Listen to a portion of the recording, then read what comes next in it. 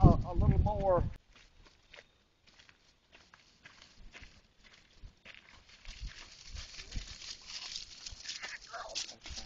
There you go. Good boy.